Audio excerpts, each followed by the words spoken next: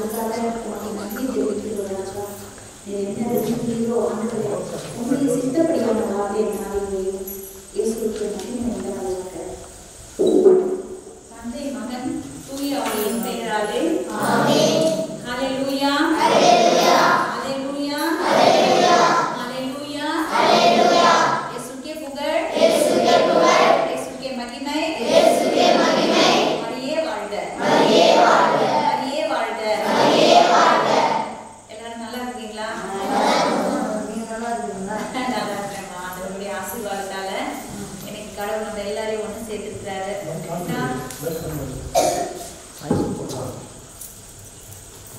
கடவுள் இன்னைக்கு எல்லாரையும் ஒன்று சேர்த்திருக்கிறாரு அதுக்காக நம்ம நன்றி சொல்லுவோம் சாமிக்கு ஆஹ், நான் வந்து ஒரு மணி நேரமா வெயிட் பண்ணிட்டு இருக்கிறேன் நீங்க யாருமே வரவே இல்லை ஆஹ், செராபின் அப்படின்னு சொல்லிட்டு உங்களுக்கு என்ன தெரியும் எல்லாருக்கும் இல்லையா தெரியுமா அவர் கரெக்ட்ல சட்டுன்னு பார்க்கலாம் தெரிஞ்சவங்களா ஹalleluya ஹalleluya ஹalleluya. இயேசுவுக்கு மகிமை உண்டாவதாக இயேசுவே மகிமை. மரியே வாழ்க மரியே வாழ்க.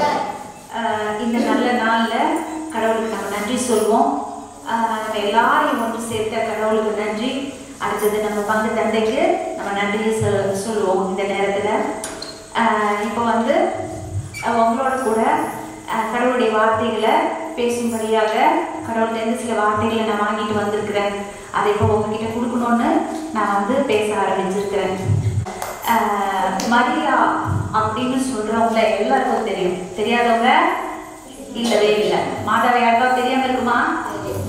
எல்லாருக்குமே தெரியும். மாதாவை எல்லாருக்குமே தெரியும். இப்ப மாதாவோட பிறப்பு யாருக்கெல்லாம் தெரியும்? மாதாவோட பிறப்பு யாருக்குமா தெரியும்? தெரியுமா? இயேசு கிறிஸ்து பிறப்பு நம்ம எல்லாருக்கும் தெரியும் அல்லவா? தெரியும் இல்லையா? அப்ப மாதாவோட பிறப்பு வந்து யாருக்கும் தெரியாத விஷயங்கள் வந்து நான் உங்ககிட்ட பேச போறேன். ஹalleluya. ஹalleluya உங்க நினைவுகள் எல்லாம் வெளியில இருக்கும் கொஞ்சம் அந்த நினைவுகள் எல்லாவற்றையும் இப்போ நீங்கள் என்ன செய்யுங்க கொண்டு வாங்க. சரியா? அந்த தேவனுடைய பிள்ளைகளே கடவுளுடைய வார்த்தைகளை யார் சொன்னாலுமே அதை நம்ம எடுத்துக்கணும். ஒன்றுக்கும் உபயோகம் இல்லாத ஆள் நான். ஆனால் நானே வந்து உங்ககிட்ட கடவுளை பற்றி சொல்றேன்னா கடவுள் எவ்வளோ அற்புதமானவர் பாருங்க. இல்லையா? அப்போ நான் ஒரு இந்து குடும்பத்தை சேர்ந்த மகள் தான் எனக்கு கடவுளை பற்றி ஒன்றுமே தெரியாது. ஆனா இன்னைக்கு பாருங்க கடவுளுடைய வார்த்தைகளுக்காக நான் எங்கெங்கேயோ ஓடிக்கிட்டு இருக்கிறேன். எதையும் எதிர்பார்க்கல. என்கிட்ட இருக்கிறத கொடுத்து செலவு பண்ணி நான் போய் கடவுளுடைய வார்த்தைகளை பேசிட்டு இருக்கிறேன். இந்த அளவுக்கு கடவுள் மேல எனக்கு அவ்வளவு அளவு ஒரு அன்பு ஈடுபாடு இருக்கிறதால நான் ஓடிக்கிட்டு இருக்கிறேன். அது போல இந்த எல்லா மக்களுக்கும் வந்து ஆண்டவருடைய வார்த்தைகளை வந்து எடுத்து சொல்லணும் அப்படின்னு தான் கடவுள் விரும்புறாரு. கடவுள் என்ன நினைக்கிறாரு? கடவுளுடைய வார்த்தைகளை எடுத்து சொல்லணும்னு அவர் விரும்புகிறார் அதனால இன்னைக்கு நம்ம மரியாவோட குறிப்பை பத்தி இப்ப நம்ம பார்ப்போம். அன்றைக்கு மரியாள் வந்து எப்படி பிறந்தாங்க? அவங்களுடைய பிறப்பு பற்றிய குறிப்பு வந்து பாத்தீங்கன்னா நம்ம பைபிள்ல கிடையாது. எங்கேயாவது பைபிள் இருக்கா? யாருக்கா சொல்றீங்களா? தெரியுமா? இருக்காமா? இருக்கா இல்லையா? தெரியலையா? பைபிள்ல இல்ல. பைபிள்ல இல்ல. நம்ம பைபிள்ல வந்து இயேசு கிறிஸ்துவோட பிறப்பை தான் நம்ம பார்க்கிறோம். ஆனா மாதம்மாவோட பிறப்பு அவங்க சின்ன வயது காலகட்டத்தில் நடந்த நிகழ்வு வந்து நம்ம திரு விவிலியத்துல எங்கேயுமே குடிக்கல ஆனால் நம்ம மரியம்மாவை பத்தி தெரிஞ்சுக்கணும் அப்படின்றதுக்காக யாக்கோபு எழுதிய நற்செய்தி நூல்ல இருந்து ஒரு சில குறிப்புகளை இப்ப நம்ம பார்க்க போறோம். ஹalleluya. ஹalleluya. சவுண்டே வரல. இயேசுக்கே மகிமை மரியே வாழ்க. மாதம்மாவை பத்தி அவங்க பிறந்த குறிப்பு என்ன அப்படின்னு நீங்க உங்களுக்கு தெரிஞ்சுக்கிட்டு தெரியாத இருக்கிறவங்களுக்கும் இதை நம்ம சொல்லணும். சரிங்களா? இப்ப என்ன அப்படின்னு சொன்னீங்கன்னா ஆஹ்,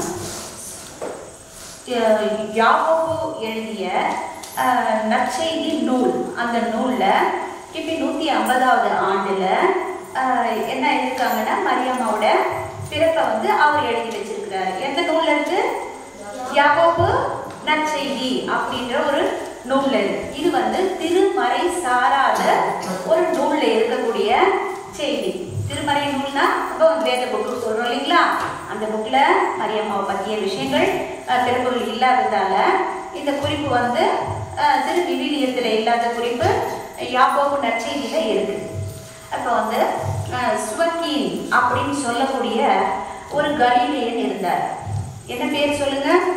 சுவக்கீன் சரியா? நான் அப்பப்போ கேட்கும்போது நீங்க வாயை திறந்து சொல்லுங்க. அப்பதான் தான் இங்க இருக்கிற பிசாசானவனுக்கெல்லாம் கேட்க வரும் Praise the நீங்க மட்டும் வந்துடல இங்க. நான் மட்டும் இங்க இல்ல. சாத்தா என்ன செய்வான் தெரியுமா? இது உள்ள என்னவோ நடக்குது அப்படின்னு சொல்லிட்டு என்னை எவ்வளவு தடுக்க பார்த்தான். ஆனாலும் மாதாமா என்ன கூட்டிட்டு வந்துட்டாங்க. Praise the Lord. அப்போ உங்க உங்ககிட்ட உங்களை சுத்தி ஏதாவது தீய ச- சைத்தான்கள் இருந்தாலும் அவன் என்ன செய்வான்? உங்களை இதை கேட்காதபடி செஞ்சுக்கிட்டே இருப்பான். உங்களை என்ன செய்வான்?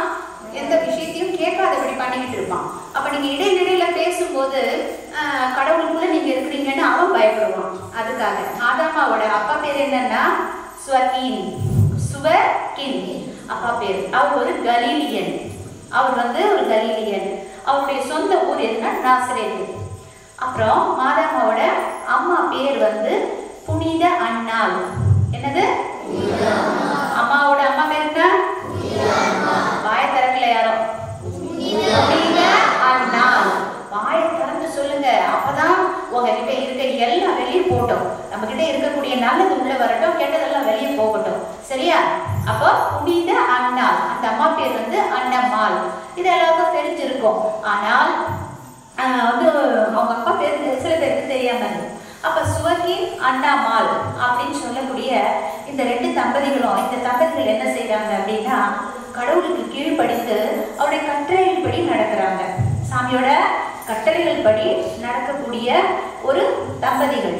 இவங்க எப்படி இருக்கிறாங்க அப்படின்னு சொன்னா ஜப தவ முயற்சிகள் எல்லாவற்றிலும் அருமையாக அருமையா எல்லா கடவுளுக்குரிய காரியங்கள் அருமையா செய்கிறாங்க மற்றவங்களுக்கு அவங்க தான தர்மங்கள் செய்றாங்க. அனாதைகளுக்கு விதவைகளுக்கு இப்படி தான தர்மம் செய்கிறாங்க இப்படி ஒரு நல்ல தம்பதிகளா இருக்கிறாங்க. கடவுள் மேல ரொம்ப பக்தி உள்ள தம்பதிகளா இருக்காங்க. ஸ்வகினோ அன்னமால். அப்படி இருக்கும்போது அவங்களுக்கு வருமானம் வந்து பாருங்க.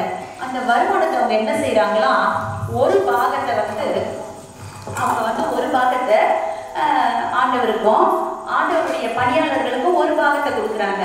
ரெண்டாவது பாகம் வந்து என்ன செய்யறாங்கன்னா அனாதைகளுக்கும் ஏழை எளிய மக்களுக்கும் உதவி செய்யறாங்க மூன்றாவது பாகத்தை தன்னுடைய குடும்பத்துக்காக அவங்க பயன்படுத்திக்கிறாங்க. எவ்வளவு பெரிய விஷயம் பாருங்க. ஒரு வருமானம் வருதுன்னா நம்ம என்ன செய்கிறோம் நம்ம வீட்டுக்கு வந்தா போதும். நம்மளுக்கு கிடைச்சா போதும் நம்ம நினைக்கிறோம். ஆனா அவங்க என்ன செஞ்சாங்க? மற்ற மக்களுக்கும் உதவி செய்யணும் அப்படின்னு சொல்லிட்டு அவங்களுடைய வருமானத்துல மூன்றா பிரிச்சு முதல் பாகம் யாரு கொடுக்குறாங்க பாருங்க? முதல் பாகம் வந்து ஆண்டவருக்கும் அவருடைய பணியாளர்களுக்கும் இரண்டாவது பாகத்தை ஏழை எளிய மக்களுக்காகவும் அதுக்கப்புறம் வந்து அவர் அனாதைகளுக்கும் கொடுக்குறாங்க. மூன்றாவது பாகத்தை அவங்க தன்னுடைய குடும்பத்துக்காக எடுத்துக்கிறாங்க. இப்படியா கடவுளுக்கு கீழ்ப்படிந்து அற்புதமான ஒரு தம்பதிகளாக அவங்க இருக்கிறாங்க. அப்படி இருக்கும்போது இவங்களுக்கு திருமணமாகி இருபது ஆண்டுகள் ஆயிடுச்சு. எத்தனை ஆண்டுகள்? இருபது ஆண்டுகள் ஆயிட்டும் அவங்களுக்கு குழந்தையே இல்லை. அவங்களுடைய கவலை என்ன? அவங்களுக்கு குழந்தை இல்லை. அப்ப அவங்க என்ன செய்கிறாங்க கடவுள்கிட்ட போயிட்டு வேண்டிக்கிறாங்க. எங்களுக்கு ஒரு குழந்தை இல்லை. கடவுளே எங்களுக்கு ஒரு குழந்தை கொடுங்க. அப்படின்னு சொல்லி சாமி கிட்ட மன்றாடி வேண்டிக்கிட்டு இருக்கிறாங்க. இப்படிப்பட்ட காலத்துல சுவக்கீன் என்ன பண்றாரு? அவருடைய உறவினர்களோட சேர்ந்துக்கிட்டு ஒரு கோவிலுக்கு போறாரு. எஸ்லேமில் உள்ள கோயிலுக்கு போறாரு. கோயிலுக்கு போயிட்டு பலி செலுத்தணும் அப்படின்னு சொல்லிட்டு பலி செலுத்துறதுக்காக அந்த கோவிலுக்குள்ள போறார். அப்படி அவர் கோயிலுக்குள்ள போகும்போது என்ன ஆகுதுன்னா அந்த கோயிலில் இருக்கக்கூடிய குரு அப்படின்னு சொல்லக்கூடிய குருவானவர் அவர் பேர் வந்து ரூபன். அவர் பேர் என்ன? ரூபன். அந்த ரூபன் என்ன செய்யறாரு இவனுக்கு தான் குழந்தையே இல்லையே இவன் ஏன் முதல்ல வந்தான் அப்படின்னு சொல்லி கேட்கிறாரு அப்படி கேட்ட உடனே அஹ், என்ன ஆகுதுன்னா ரொம்ப வேதனை ஆயிடுது நம்மளுக்கு ஒரு குழந்தை இல்லை அப்படின்றதால நம்ம எல்லாருமே என்ன செய்யறாங்க ஒதுக்கிடுறாங்க. நம்மள ரொம்ப அசிங்கமா பேசுறாங்க. கஷ்டமா இருக்குது. இப்ப கூட பாருங்க நம்மள கூட நிறைய பேருக்கு ஒரு குழந்தை இல்லைன்னும் போது அப்படி ஒரு ஒதுக்கி அவங்கள ஒரு பிடிக்காத ஒரு நபரா நம்ம வச்சுக்குவோம். அவங்க எதிர்க்க வரக்கூடாது அவங்க பக்கத்துல வரக்கூடாது அவங்க கிட்ட பேசக்கூடாது. இப்படிலாம் நினைக்கிறாங்க. அது மிகப்பெரிய தவறு. அப்படியெல்லாம் நம்ம நினைக்கவே கூடாது. இனி நீங்க யாரும் அது மாதிரி குழந்தை இல்லாம இருக்கிறவங்க யார்கிட்டயும் வந்து நீங்க வந்து அன்பா இருக்கணுமே தவிர அவங்கள கஷ்டப்படுத்த கூடாது. இதை நிச்சயமா கடவுள் விரும்ப மாட்டாரு. அடுத்து பாருங்க இவங்க என்ன செய்யறாங்க இப்படி சொன்ன உடனே சிவ வந்து ரொம்ப வேதனை ஆயிடுது. அவர் மனைவி அவர் கூட இல்லை. அவருடைய உறவினரோட சிவகீன் மட்டும்தான் அந்த கோயிலுக்குள்ள வந்தார். இப்படி சொன்ன உடனே அஹ், என்ன செய்யறாரு ரொம்ப வேதனைப்பட்டுட்டு அந்த இடத்த விட்டு வேகமா வெளியே போயிடுறாரு. வெளியே போயிட்டு என்ன செய்கிறாருன்னு பார்த்தீங்கன்னா வனாந்தரத்துக்கு போயிடுறாரு. வனாந்தரத்துல போயிட்டு ஒரு கூடாரம் அமைச்சிக்கிறாரு. கூடாரம் அமைச்சுக்கிட்டு நாற்பது நாள் இரவும் பகலும் என்ன செய்கிறாரு சாப்பிடாம கடவுள்கிட்ட இறைவேண்டல் செய்கிறாரு எதுக்காகமா இறைவேண்டல் செய்கிறாரு கேட்கல எனக்கு. சொல்லுங்க வாங்கி தந்து.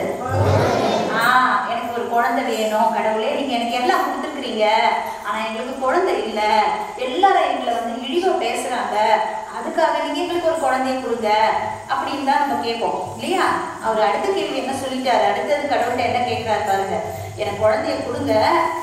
நாங்க அந்த குழந்தைய வளர்ந்து வளர்த்து மறுபடியும் உங்க கோயிலுக்கே கொடுத்துடுறோம்னு சொல்றாரு. ஹலே லூயா அவர்கிட்ட கொடுத்தது நல்லதா இல்லையா? நல்லதா இல்லையா? அவர் அந்த குழந்தைய அவரே வச்சுக்கிட்டு இருந்தாருன்னா அவங்க குடும்பத்தில் மட்டும்தான் அந்த அற்புதமான குழந்தை இருந்திருக்கும். இன்னைக்கு நம்ம எல்லாருக்கும் யார் அம்மா? மாதா தான் அம்மா. இல்லையா? இந்த உலகத்துல எத்தனையோ அனாதை பிள்ளைங்க இருக்கிறாங்க. அம்மா இல்லாத குழந்தைங்க எவ்வளவு பேர் இருக்கிறாங்க? ஆனா அவங்க எல்லாருக்கும் நம்ம எல்லாருக்கும் சேர்த்து மொத்தமா இருக்கக்கூடிய ஒரே அம்மா யாரு? மாதா அம்மா தான். அப்ப என்ன செய்யறாங்க மாதா வந்து அந்த அம்மா வந்து குழந்தை இல்லைன்னு சொல்லிட்டு அந்த இடத்துல கூடாரம் போட்டு அவர் வேண்டிக்கிட்டு இருக்கிறார் இங்கே என்ன நடக்குதுன்னா அண்ணாமால் இருக்கிறாங்க இல்லையா? அவங்க என்ன செய்யறாங்க என் கணவரை பார்த்தீங்களா? எங்கன்னு தெரியலன்ட்டு எல்லாரையும் கேட்குறாங்க யாருக்குமே தெரியல. நாங்கள் கோவில்ல பார்த்தோம். அதுக்கப்புறம் நாங்கள் அவரை பார்க்கல அப்படின்னு சொல்றாங்க. உடனே அண்ணம்மாவுக்கு என்ன ஆயிடுச்சுன்னா ரொம்ப வேதனை ஆயிடுச்சு வேதனையோடு கூட அவர் அவர் என்ன செய்யறாருன்னா அண்ணம்மா என்ன பண்றாங்க வேதனையோடு கூட வந்து ஆஹ், கடவுள்கிட்ட போய் வேண்டாங்க எங்க கணவர் வந்து நிச்சயமா அவர் உயிரோட இருந்தாருன்னா என்னை வந்து பார்க்காம இருக்க மாட்டாரு. ஒரு நாள் என் கணவர் என்னை விட்டு பிரிஞ்சதே கிடையாது. ஆனா இன்னைக்கு நான் இவ்வளவு நாள் ஆயும் அவர் வரலன்னா அப்ப அவர் என்ன ஆயிட்டு இருப்பாரு? இறந்துட்டு இருப்பாருன்னு அவங்க நினைச்சிட்டாங்க? யாரு? அண்ணால் நினைச்சிட்டாங்க. நம்ம வீட்டுக்காரர் இறந்துட்டாரு. ஆனா அவர் வேதனைப்பட்டு அங்க கூடார அமைச்சு அங்க கடவுள்கிட்ட வேண்டிக்கிட்டு இருக்காரு இந்த அம்மாவுக்கு தெரியாது. அப்படி இவங்க நினைச்சிட்டு கடவுள்கிட்ட அழுதுட்டே இருக்கும்போது ஒரு தூதர் அங்க வராரு. அந்த தூதர் வந்து என்ன செய்யறாரு அண்ணால பார்த்து சொல்றாரு மகளே நீ வருத்தப்படாத. கடவுளால் நீ க கடவுள் வந்து உனக்கு ஒரு குழந்தைய கொடுக்க போறாரு. நீ ஒரு குழந்தைய பெ- அந்த குழந்தைக்கு மரியான் நீங்க பேர் வையே அப்படின்னு சொல்லிட்டு அந்த தூதர் வந்து அஹ், சொல்றாரு. அடுத்த வார்த்தை என்ன சொல்றாரு பாருங்க. உன் கணவர் மந்தையோட உங்ககிட்ட திருப்பி வருவார்னு சொல்றாரு. அலையிலுயா அந்த எவ்வளவு சந்தோஷமா இருக்கும். ரெட்டிப்பு சந்தோஷம் இருக்குமா இருக்காதா? ஒண்ணு கணவர் காணும் வேதனையோட இருக்கிற பொண்ணுக்கு கணவர் கிடைச்சிட்டாரு. இவ்வளவு காலமா குழந்தை இல்லைன்னு நினைக்கிறவருக்கு குழந்தை கிடைச்சிச்சு அப்போ அவங்க என்ன செய்கிறாங்க ரொம்ப சந்தோஷப்படுறாங்க. அப்போ அவங்க கடவுளை நோக்கி வணங்கி வேண்டி அவங்க அவங்க கணவருக்காக காத்துக்கிட்டு இருக்காங்க. அப்புறம் பார்த்தா இதே நிகழ்ச்சி என்ன செய்கிறாரு அந்த தூதர் போயிட்டு ஸ்வர்கின் கிட்டையும் போய் சொல்கிறாரு வந்து மகனே நீ கவலைப்படாத. கடவுள் உனக்கு ஒரு குழந்தைய கொடுக்க போறாரு. அந்த குழந்தை வழியா இந்த உலகமே ஆசீர்வதிக்கப்பட்ட குழந்தைய? உலகத்துக்கே ஆசீர்வாதத்தை கொடுக்கக்கூடிய அளவுக்கு அற்புதமான குழந்தையா அது இருக்கும் அப்படின்னு சொல்லிட்டு தூதர் போயிட்டு அண்ணால் கிட்ட என்ன சொன்னாரோ அதே வார்த்தையை கொண்டு போய் ஸ்வக்கின் கிட்டேயும் சொல்றாரு. இதை கேட்ட உடனே ஸ்வக்கின்க்கு ரொம்ப சந்தோஷம். நம்ம வந்து கடவுளுடைய ஆசீர்வாதத்தை நம்மளுக்கு பெற்றுக்கொண்டோம் அப்படின்னு சொல்லிட்டு என்ன செய்யறாரு சந்தோஷமா திருப்பி வனாந்தரத்துல இருந்து அவர் வீட்டுக்குள்ள போறாரு. நம்ம வீட்டுக்கு போன உடனே அண்ணா என்ன செய்கிறாங்க அவங்களுக்கு நடந்த நிகழ்ச்சியை சொகிங்கிட்ட சொல்கிறாங்க அவர் என்ன சொல்கிறாரு அவருக்கு தூதர் சொன்னதையும் சொல்லி ரெண்டு பேரும் சந்தோஷப்படுறாங்க. அப்புறம் கொஞ்ச நாள் கழித்து ஒன்பது மாதங்கள் கழித்து அவங்களுக்கு ஒரு அழகான குழந்தை பிறகுது அந்த குழந்தைக்கு என்னன்னு பேர் வைக்கிறாங்க? மரியாள். என்ன பேரு? மரியாள். அந்த மரியாள் அந்த மரியான்னு சொல்லி அந்த குழந்தைக்கு வந்து மரியாள் அப்படின்னு சொல்லிட்டு அவங்க பேர் வைக்கிறாங்க. அந்த குழந்தை பாருங்க ரொம்ப அழகாவும் அற்புதமான குழந்தையா இருக்குது. ஏன்னா அது தேவனால உண்டாக்கப்பட்ட குழந்தை இல்லையா? அப்ப அந்த குழந்தைக்கு மற்ற குழந்தைகளை காட்டிலும் ஒரு மிகப்பெரிய ஒரு கிருபை அந்த குழந்தைகிட்ட இருந்துச்சு. அப்புறம் அவங்க வளர்த்தாங்க. இந்த குழந்தை ஆசீர்வாதமா இருந்தது. அப்புறம் என்ன செய்யறாங்க பாருங்க. இந்த குழந்தை என்ன செய்யறாங்க வச்சுக்கிட்டு இருக்கும்போது அவங்களுக்கு ஞாபகம் வருது. நம்ம வந்து குழந்தை இல்லை குழந்தை இல்லைன்னு சொன்னோம். சொன்னவங்களுக்கு இப்ப நம்ம கையில ஒரு குழந்தைய கடவுள் கொடுத்தாரு. கடவுளுக்கு நம்ம நன்றி சொல்லுவோம். ஆனா நம்ம என்ன சொன்னோம்? குழந்தைய கொண்டு போய் கோவில்ல முழுவதுமா நாங்க கோயில்ல ஒப்பு கொடுக்குறோம்னு சொன்னோம் இல்லையா? அதனால நம்ம என்ன செய்வோம்? குழந்தைய கொண்டு போய் கோவில்ல கொடுத்துருவோம் அப்படின்னு ரெண்டு பேருமா சேர்ந்து முடிவு பண்ணாங்க. முடிவு பண்ணி என்ன செய்கிறாங்க குழந்தைக்கு மூணு வயசு ஆகும்போது யாருக்கு? மரியாவுக்கு மூணு வயசு ஆகும்போது அந்த குழந்தைய கூட்டிட்டு போய் கோவில்ல ஆண்டவர்கிட்ட ஒப்படைச்சிடுறாங்க. ஹalleluya. அப்ப மூன்று வயதுல இருந்து ஒரு குழந்தை எங்க வளர்ந்துகிட்டு இருக்குது. கோவில்லையே தான் வளருது? கோவிலில் மட்டும்தான் அது வளருது. வெளியெல்லாம் போக முடியாது. அவங்களுக்கு வந்து எந்த ஞாபகமும் இருக்காது. அவங்க எதை பற்றி யோசிக்க மாட்டாங்க. எந்த நேரமும் இறை வேண்டல் மட்டும்தான் செஞ்சுக்கிட்டு இருப்பாங்க. எந்த நேரம் என்ன செய்கிறாங்க மாதம்மா மரியா என்ன செய்கிறாங்க கடவுளையே போற்றி புகழ்ந்து அவங்கள ப- அவங்கள பற்றி மட்டுமே அவங்க என்ன செய்கிறாங்கன்னா வேண்டிக்கிட்டு இருக்காங்க. மூணு வயசுல இருந்து அந்த குழந்தை இப்படியாக தான் அங்க வாழ்ந்துகிட்டு இருக்குது. இப்ப பாருங்க கடவுள் பாருங்க அந்த குழந்தைய கர்ப்பத்திலேயே இயேசு கிறிஸ்து பிறக்க போறாருன்றதுக்காக அவருடைய அம்மாவை முதல் எப்படி செலக்ட் பண்ணியிருக்காரு பாருங்க. ஒரு பரிசுத்தமான ஒரு கன்னிகையா அவங்கள தேர்ந்தெடுத்து ஒரு நல்ல தாய் தகப்பனுக்கு மகளா அவங்கள பிறக்க வச்சு பிறகு அந்த குழந்தை வந்து ஒரு ஆசீர்வாதமான குழந்தையா கடவுள் பேரையே உச்சரிச்சுக்கிட்டு எந்த நேரமும் கடவுளை தியானிச்சுக்கிட்டே இருக்கக்கூடிய ஒரு திருச்சபைக்குள்ள ஒரு கோவிலுக்குள்ளவே தான் அந்த குழந்தை வளர்ந்துகிட்டு இருக்குது. அப்பதான் ஆண்டவருடைய தூதர் வந்து என்ன சொல்றாரு? மரியாவை பார்த்து மரியே நீ அஞ்ச வேண்டாம் சொல்லிட்டு என்ன கேட்குறாரு குழந்தை பிறக்கிறதுக்காக. மாதாமா கிட்ட வந்து ஜீசஸ் பிறக்கணும் இல்லையா? அதை தான் நம்ம வந்து இப்போ கிறிஸ்மஸ் விழாவாக கொண்டாடிட்டு இருக்கோம் இல்லையா? தீவன தொட்டியில கிடத்துனாங்க இல்லையா குழந்தைய? அந்த நிகழ்வுலாம் அதுக்கப்புறம் தான் நடக்குது. அப்போ மரியாவை பாருங்க. மரியாவோட அம்மா அப்பா இருக்கிறாங்க இல்லைங்களா? அதுக்கப்புறம் மரியாவோட அம்மா இருந்த ஊர் வந்து எருசலேம்ல ஒரு வீடு இருந்தது. அந்த வீடு தான் இப்போ ஒரு பேர் ஆலயம் ஆயிட்டு அந்த ஆலயத்துக்கு வந்து நல்ல திருப்பொழிவெல்லாம் செய்து அந்த ஆலயத்துல திருவிழா கொண்டாடுறாங்க ஐந்தாம் நூற்றாண்டுல. அப்ப அவங்க அந்த ஐந்தாம் நூற்றாண்டுல திருவிழா கொண்டாடுற அந்த நாளை தான் நம்ம என்ன செய்யறோம் செப்டம்பர் எட்டு. என்ன நாள் அது? செப்டம்பர் எட்டு மாதாவோட பிறந்த நாளாக நம்ம என்ன செய்யறோம் அப்பதான் அந்த திருப்பொழிவு ஏற்பட்ட நாளை நம்ம கொண்டாடிக்கிட்டு இருக்கிறோம். அது வழி வழியா அந்த ஆண்டுகள்ல அந்த அந்த வீடு தான் என்ன ஆயிடுச்சு? பேர் ஆலயம் ஆயிடுது. அந்த பேர் ஆலயம் தான் ஏற்பட்ட அந்த ஆ- நாள்ல தான் செப்டம்பர் எட்டுல மாதாவுக்கு திருவிழாவா நம்ம கொண்டாடிக்கிட்டு இருக்கோம். ஹலெலுயா இயேசுவுக்கு மகிமை உண்டாவதாக. மரியே வாழ்க. ஹலெலுயா இப்ப அனைவரும் எழுந்து நிற்போமா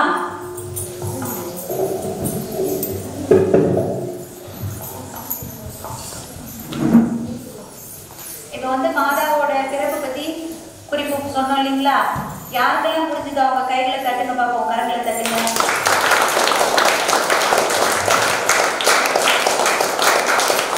Hallelujah. மரியா வந்துமா எப்படி இருந்தாங்க அப்படின்னு உங்களுக்கு தெரியும் இல்லையா? அவங்க என்ன செய்ய மாட்டாங்க? யாரையும் எதிர்த்து பேசாம கடவுளுக்கு கீழ்ப்படிந்து இயேசு கிறிஸ்து என்ன சொல்றாரோ அதை மட்டும்தான் அவங்க செஞ்சாங்க. அப்ப என்ன நடக்குது பாருங்க. ஒரு அவர் வந்து சிலுவையில் அறைய போறாங்க அப்படின்றத முன்னாடியே அவர்களுக்கு தெரியும் போது ஒரு வால் அவருடைய இதயத்தை என்ன செய்து? ஊடுருவி பாய்ந்ததுன்னு சொல்றாங்க. அப்படின்னா என்னன்னா அவருடைய இதயத்துக்குள்ள எவ்வளோ பெரிய வேதனைகள் இருந்திருக்கும். அவருடைய மகனை அஹ், என்ன செய்கிறாங்க சிலுவையில் அறைய போகிறாங்க அப்படின்னு தெரிஞ்ச போது அவங்க எவ்வளோ வேதனைப்பட்டிருப்பாங்க. அவங்க வாழ்நாள் முழுவதும் நமக்காகவே வாழ்ந்து நமக்காகவே பரிந்து பேசிக்கிட்டு இருக்கிறாங்க. இப்போது கூட கடவுள் வந்து பாருங்க பரிந்து நமக்காக மாதமா நமக்காக கடவுள்கிட்ட பரிந்து பேசிக்கிட்டு இருக்கிறாங்க. ஹalleluya இயேசுக்கு மகிமை உண்டாவதாக. சரி இப்போ ஒரு பாடல் பாடுவோமா? என்ன பாட்டு பாடலாம்? நல்ல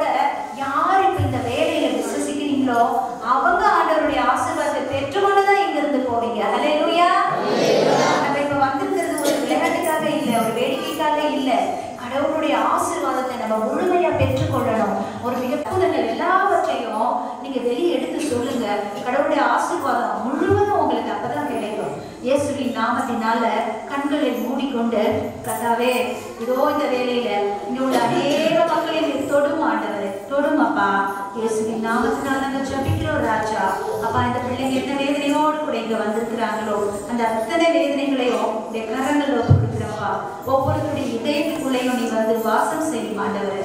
உங்களுடைய ஆசீர்வாதம் இந்த மக்களுக்கு பரிபூர்ணமா கிடைக்கட்டும். இந்த குடும்பங்களுக்கு ஆசீர்வாதம் கிடைக்கட்டும். ஒவ்வொரு வீட்டுக்கும் ஆசீர்வாதம் கிடைக்கட்டும். இந்த ஊருக்கு ஒரு ஆசீர்வாதம் கிடைக்கட்டும். ஒவ்வொரு எல்லையிலையும் உங்களுடைய தூதரை வையும் அப்பா. உங்களுடைய தூதர்கள் இருக்கட்டும் சுவாமி. கத்தாவே நோவை விசுவசிப்பவர்களை ஒரு பொழுதும் கைவிடுவதில்லை ராஜா. ஒரு பொழுதும் கைவிடுவதில்லை ஆண்டவர். இதோ குழந்தைகள் என்ன தேவைகளுக்காக உங்களிடம் வந்து ஒவ்வொரு நாளும் வேண்டிக்கிட்டு இருக்கிறாங்களோ அது உனக்கு தானப்பா தெரியும். ஏசு ராஜா இதோ ஒவ்வொரு பிள்ளைக்கும் தேவையான அநேக காரியங்களை இங்கே சந்தியும் ஆண்டவர். எத்தனையோ பேருக்கு வந்து உடல் சம்பந்தப்பட்ட உபாதையும் இருக்கலாம் ராஜா. அந்த குறைகள் எல்லாத்தையும் எடுத்து போடும். கை கால் வலி முட்டி வலி ஆஹ், உடல் சம்பந்தப்பட்ட உச்சியிலிருந்து பாதம் வரை உள்ள அநேக வழிகளையும் வேதனைகளையும் நீர் எடுத்து போட மாட்டாங்க இந்த வேலையிலே கத்தாவே இதோ குழந்தைகளுக்காக நான் சபிக்கிற சுவாமி பிள்ளைங்களுக்கு நல்ல கல்வியை தாரும். நல்ல ஒழுக்கத்தோடு கூட தேவ பயத்தோடு கூட ஞானத்தோடு கூட பிள்ளைகளை நீர் தொட்டு ஆசீர்வதியும். ஆண்டவரே உமக்கேற்று ஒப்பு கொடுத்த பிள்ளைகளை சைத்தான் தொடாதபடிக்கு நீர் பார்த்து கொள்ளும் ஆண்டவரே. கத்தாவே இந்த வேலையில திருமணமாகாம இருக்கக்கூடிய இந்த குடும்பங்கள்ல இந்த ஊர்ல திருமணமாகாம இருக்கக்கூடிய ஆண் பெண் இருவருக்கும் உள்ள திருமணத்தை நீர் தாரும் கத்தாவே இதோ இந்த வேலையில நான் ஜபிக்கிற சாமே அப்ப குழந்தை இல்லாம யாராவது இருந்தாலும் ஆண்டவரே இதோ இந்த ஆண்டு ஒரு குழந்தை பாக்கியத்தை இந்த குழந்தைக்கு தரணும் நான் வேண்டிக்கிற சாமே. கத்தாவே வேலை வாய்ப்பு இல்லாம படிச்சுட்டு சும்மா இருக்கக்கூடிய பிள்ளைகளுக்கும் நீர் தாமே ஒரு வேலையை தந்து அவர்களை ஆசிர்வதியும் அப்பா. கத்தாவே இந்த ஊர்ல இருந்து எத்தனையோ பிள்ளைங்க வெளியில போய் வாழ்ந்துகிட்டு இருக்கலாம் அந்த பிள்ளைகளுக்கும் நீர் ஆசீர்வாதத்தை தரணும் சுவாமி கத்தாவே இந்த ஒவ்வொரு வீட்டையும் நீர் பாரும் ஆண்டவரே. ஒவ்வொரு மக்களையும் நீர் தொட்டு ஆசீர்வதியும். தேவையில்லாத அசுத்த ஆவிகள் கிரைகள் ஏதாயிரம் பிள்ளைங்க கிட்ட இருந்தா இயேசுவின் நாமத்தினால் அதை எடுத்து போடுவீராக. இயேசுவின் நாமத்தினால் அதை எடுத்து போடுவீராக. கர்த்தாவே இந்த குடும்பத்துக்குள்ள ஒரு அன்பு இருக்கட்டும் சமாதானம் இருக்கட்டும். ஆண்டவரே உடைய நாமத்தினால இந்த ஊர்ல உள்ள எல்லோரும் சமாதானமா இருக்கட்டும் ராஜா. நீர் தாமே ஆசீர்வதிப்பீராக. ஹalleluya ஹalleluya ஆமென் எல்லாரும் உட்காருங்க. கட்டளைகளை இந்த பத்து கட்டளைகளை கொண்டு போய் நீ வந்து உன்னுடைய பிள்ளைங்களுக்கு வந்து இந்த இஸ்ரேல் மக்களுக்கு கொடு. எகிப்துல இருந்து மக்களை கடவுள் என்ன செய்தாரு? மீட்டு கொண்டு வந்தாரு. அப்படி மீட்டு கொண்டு வந்த அந்த மக்கள் அந்த- அந்த மக்கள் எல்லோரும் மேலேயும் கடவுள் எவ்வளவு அன்பு வச்சுதான் அதை கூட்டிட்டு வந்தாரு. அவங்க எப்படி வாழணும் அப்படின்னு சொல்றதுக்காக மோசேல் என்ன செய்யறாரு கூட்டிட்டு போய் மலை மேல ஆறு நாள் அங்க வந்து ஆகாய மார்க்கமா வந்து என்ன சொல்றாருன்னா மோசே கிட்ட சொல்றாரு. மோசை அதை கல்வெட்டுல எழுதி கொண்டு வந்து நம்மளுக்கு கொடுத்துருக்கிறாரு. அந்த கட்டளைகள் படி தான் நம்ம வாழணும். அந்த கட்டளைகளை தான் மோசையுடைய கட்டளைகள் படி நம்ம வாழும்போது கடவுளுடைய ஆசீர்வாதத்தை முழுமையா பெற்றுக்கொள்ள முடியும். ஹalleluya. ஹalleluya. சரி பத்து கட்டளைகள் இருந்து இல்லையா? அவங்களுக்கு எல்லாம் தெரிஞ்சிருக்கும். அதுல எல்லாவற்றும் கட்டளைகளுக்கும் மேலான கட்டளை எதுமா? பத்து கட்டளைகள்ல மேலான கட்டளை வந்து அன்புதான். என்னது? அன்பு. ஒருத்தர் மேல ஒருத்தர் எப்படி இருக்கணும்? அன்பா இருக்கணும். எந்த காரணத்திலையும் யார் மேலையும் யாருக்கும் இதுக்கு முன்னாடி ஒரு விரோதம் இருந்தாலும் கூட ஒரே ஊர்ல இருக்கிறீங்க ஒரே தெருவுல இருக்கிறீங்க. எல்லாரும் அன்பா இருங்க. இது என்னுடைய வேண்டுதலா நான் உங்களுக்கு கேட்கிறேன். அன்பா இருக்கணும். ஒருத்தர் மேல ஒருத்தர் அன்பா இருங்க. நம்ம எதையும் கொண்டு போக போறது இல்ல. இன்னைக்கு இருக்கிறோம். நாளைக்கு எப்போ எப்படி என்ன ஆக போகுது நம்மளுக்கு தெரியாது. இருக்கிற வரையிலும் ஒருத்தர் மேல ஒருத்தர் கோபம் வேண்டாம். ஒருத்தர் வந்து வேகமா வராங்க. தேவையில்லாத பிரச்சனை பண்றாங்க அப்படின்னு சொன்னா கூட இன்னொருத்தர் என்ன செய்யுங்க? தாழ்ந்து போங்க. நம்ம தாழ்ந்து போக போக தான் கடவுள் என்ன செய்வார் நம்மள? உயர்த்தி உயர்த்தி கூட்டிட்டு போவார். நம்ம தாழாம இருக்கிறோம் அப்படின்னு சொன்னா சாமி நம்மளுக்கு உதவி செய்ய மாட்டார். நம்ம என்ன செய்யணும்? கடவுளுக்கு கீழ்ப்படித்த பிள்ளையா இருக்கிறோம். கத்தோலிக்க திருச்சபைக்குள்ள இந்த மக்களா இருக்கிறோம் அப்படின்னு சொல்லும்போது நம்ம எந்த பிரச்சனைக்கும் போக கூடாது நம்ம எந்த வம்புக்கும் போக கூடாது நம்மளை தேடி வம்புகள் வந்தாலும் கூட நம்ம பொறுத்து கொள்ளணும். எப்படி இருக்கணும்? பொறுமையா இருக்கணும். நான் சொல்றது உங்களுக்கு எல்லாம் கஷ்டமா கூட இருக்கலாம். ஆனா நான் வந்து இன்னைக்கு சொல்லிதான் ஆகணும். ஏன் அப்படின்னா கெடுதல் யார் நினைத்தாலோ அவங்க நல்லா இருப்பாங்க. அவங்க தலைமுறை போயிடும். அலையலுயா அலையலுயா அவங்க பிள்ளைங்க எப்படி இருக்க மாட்டாங்க? ஆசீர்வாதம் கடவுள் கொடுக்க மாட்டாரு. அவர் என்ன சொல்றாரு? நான்கு ஆறு ஏழு தலைமுறை வரைக்கும் நான் தண்டிப்பேன்னு சொல்றாரு. ஒருத்தர் செய்த தவறு அன்னைக்கு அவங்க நல்லா இருக்கலாம். அவங்க பிள்ளைங்களுக்கு போய் அந்த பாவம் பழியும் போய் விழுந்துடும் நம்ம குழந்தைக்கு நல்லா இருக்கணுமா வேண்டாமா? நல்லா இருக்கணும் இல்லையா? அப்ப நம்ம என்ன செய்யணும்? மத்தவங்களுக்கு நம்ம தீங்கு அவங்க செய்யறது தப்புன்னு தேவன் பார்த்துக்கிட்டே இருக்கிறாரு. நீங்க நினைக்கலாம் கடவுள் வந்து ஒரு சிலையா தான் இருக்கிறாரு இந்த சிலை எதுக்கு வச்சிருக்கோம்? அவருடைய நினைவுக்காக தான் நம்ம வச்சிருக்கோமே தவிர அதுல கூட நம்ம அபிஷேகம் எல்லாம் பண்ணலையே. பண்ணிட்டு இருக்குமா? இல்ல. ஏன்னா கடவுள் நமக்காக சிலுவையை சிந்தினாரு.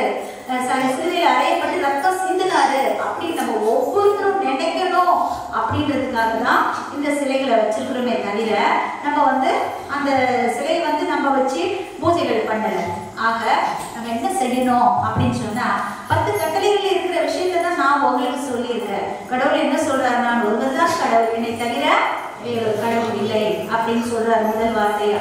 அடுத்தது என்ன சொல்றாரு பாருங்க என்னை தவிர நான் சிலையோ வேற எதையுமே வந்து நான் தான் வந்து கடவுள் அப்படின்னு சொல்லிட்டு கடவுள் சொல்லிட்டாரு.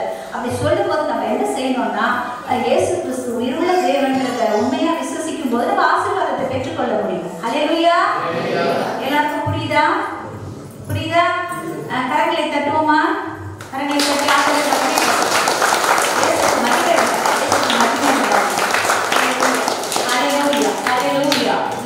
மகிமை இப்ப நீங்க இருக்கிறீங்க அப்படின்னு சொன்னா இங்க எத்தனை பேர் உட்கார்ந்துட்டு இருக்கிறீங்களோ ஒவ்வொருத்தரையும் கடவுள் பார்த்துட்டு இருக்கிறாரு. இப்ப பிறந்திருக்கிற குழந்தை இதோ வயது முதிர்ந்திருக்க இந்த அம்மா வரையிலும் எல்லாரும் என்ன பண்றாரு கடவுளை? பார்த்துக்கிட்டே தான் இருக்கிறாரு. நீங்க நினைக்கிறீங்க சாமி நம்மளை பார்க்கல அப்படின்ட்டு நம்ம கூப்பிட்டுக்கிட்டே இருக்கோம் நம்ம வேண்டிக்கிட்டே இருக்கோம் நான் சாமி நம்மளை பார்க்கல அப்படின்னு நீங்க நினைக்கிறீங்க. நான் சொல்ற கடவுள் உங்களை பார்த்துக்கிட்டு தான் இருக்கிறாரு. அவர் உங்களை பார்க்காம இருக்க முடியாது. ஏன்னா உங்க பிள்ளைங்களை நீங்க எப்படி பார்த்துக்கிறீங்க? இப்போ உங்க குழந்தைங்க என்ன பண்றாங்க? சாப்பிட்றாங்களா? தூங்குறாங்களா? இங்க கடைக்கு போனானே வந்தானா? ஸ்கூலுக்கு போனானே வந்தானா? அப்படின்னு சொல்லிட்டு உங்க பிள்ளைங்களை நீங்க எவ்வளவு ஜாக்கிரதையா பார்த்துக்கிறீங்க?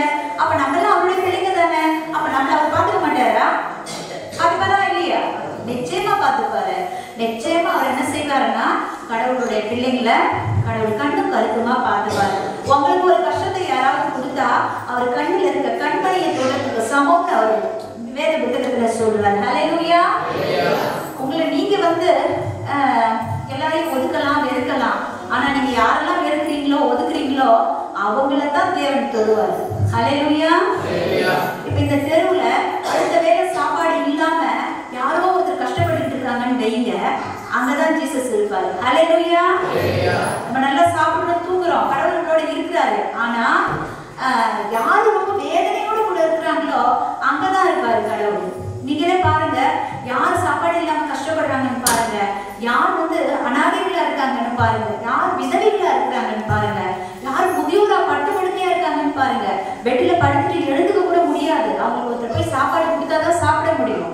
அந்த மாதிரி இருக்கிற இடத்துல தான் இயேசு கிறிஸ்து இருப்பார். ஹலேலூயா அவங்க கிட்ட இருந்துகிட்டு என்ன செய்வாருன்னா உங்களுக்குரிய கடமையை நீங்க செய்றீங்களான்னு நம்மளை பார்த்துக்கிட்டு இருப்பார்.